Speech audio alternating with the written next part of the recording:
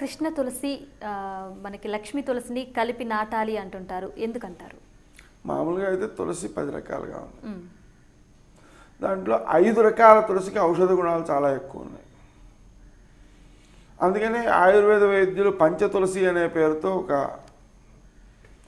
పదార్థాన్ని కూడా మనకు అందిస్తూ ఉన్నారు. ఇది చాలా రకాల అనారోగ్యాలను నివారిస్తుంది. ముఖ్యంగా తులసిలో ఉన్నటువంటిది రోగ నిరోధక శక్తిని పెంచుతుంది. అలా రోగ నిరోధక శక్తిని పెంచేటువంటి లక్షణం కలిగినటువంటి ఆ అంశాన్ని మనం కనుక దృష్టిలో పెట్టుకున్నట్లయితే మనకు అనారోగ్యం అనేది బాధించకుండా ఉంటుంది.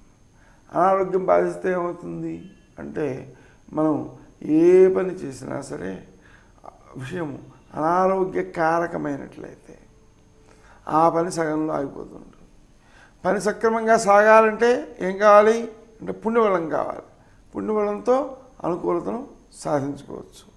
ఆ ప్రకారంగా మనం కనుక ఆలోచన చేసినట్లయితే ఈ పుణ్యబలాన్ని సంపాదించుకోవడంలో ప్రధాన పాత్ర దీనికి ఉంది అని భావించవచ్చు.